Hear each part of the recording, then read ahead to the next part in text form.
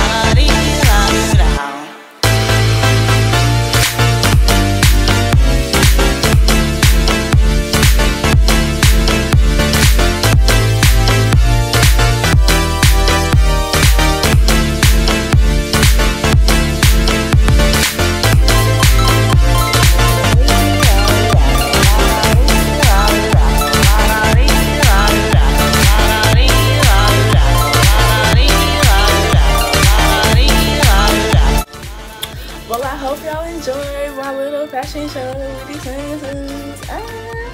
So don't forget to like, share, and subscribe.